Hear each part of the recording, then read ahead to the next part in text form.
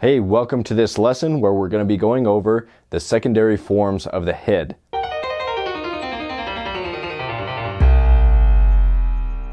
You might wonder, what is the purpose of this type of abstraction? Good question. As I've mentioned before, it's best to move from the most simple and then add complexity as we progress through the sculpture. Jumping ahead to details or textures before we've built a solid foundation is a great way to make a terrible sculpture. But building an accurate foundation is easier said than done. Let's begin by talking about planes. No, not airplanes. These planes. Planes are a common principle in art because they are a simple way of representing complex organic forms. The definition of a plane is a surface in which, if any two points are chosen, a straight line joining them lies wholly on that surface. Or, more simply put, a flat or level surface. In digital sculpting, planes are represented in polygons.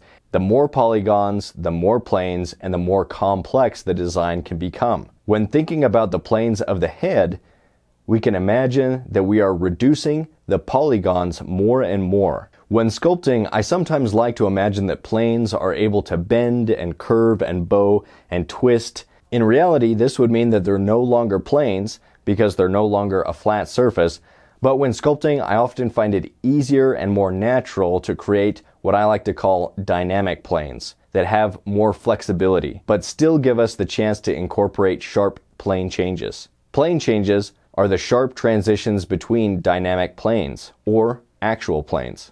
Many of my abstracted stone sculptures are built up of these types of dynamic planes that are connected by sharp edges.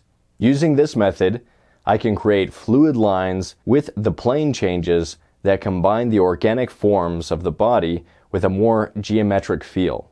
A great way to think about the planes of the head is with the Bridgman block-in on top of the cylinder of the neck. This is a simplification of the primary forms. In this lesson, we'll be adding another level of complexity to the abstraction by adding on the secondary forms of the face. As a reference for this project, I'll be using this Ecorche sculpture cast that I purchased a while ago on eBay. To start, I'm going to make a super simple armature with just some newspaper and masking tape by crumpling the newspaper into a ball. Once I've got some mass in the ball, I wrap another piece of newspaper around it to make a simple popsicle-like ball of paper. Then I'll add some masking tape to keep things in place. Then I'll take some warm Chavant NSP medium clay and start to add the clay to the paper armature by smashing out some pancakes and adding them to the surface. The softer the clay during this beginning stage, the easier it is to add clay quickly to build up the forms. As I'm adding on the clay, I'm keeping in mind the primary form of the head and I'm going for a Loomis head type block-in. I'll add some tape to the neck and then make a simple cylinder adding clay onto the paper armature. I'm adding some clay to represent the shoulders and give more support to the base of the sculpture. Here you can see what it looks like at this stage. A simple Loomis head, neck, and an indication of the chin. Now I'll create a center line to help me build and maintain the symmetry as I continue to sculpt. Next, let's add the nose onto this head, adding it onto the center line with a very simple slice of clay. I'm going to add in the eye sockets as well by pressing into the armature with my thumbs. The nice thing about this simple paper armature is that the clay really gives way if you have to move things around. And then as the clay cools down and hardens, it becomes a firmer sculpture with less give. Let's take some time to clean up the forms by adding warm clay onto the surface and then spreading it out. I'm starting to think about where the plane changes will take place as I work around the head. You can look at the head from the back and from above to try to get a clear picture of what the high points are and if the shape of the head looks good from those angles. Remember to check and recheck the symmetry and try to build the head evenly on both sides of the center line. Add in some clay for the cheekbones and continue to build out the forms working around the sculpture.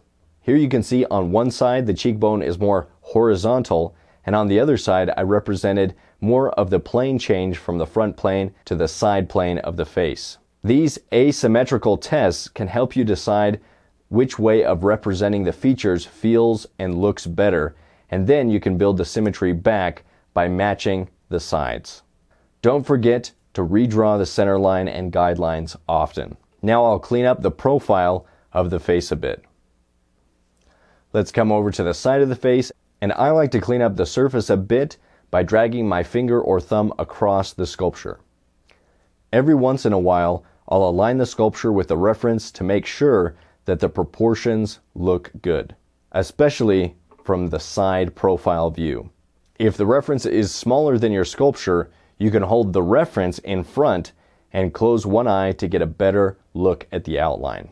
Let's add a bit more of an angle to the eye sockets so we really get that downward tilt for those orbits of the skull. Now I can clean up the other cheek and jawline and try to match one side to the other. Add some width to the nose and redraw the center line.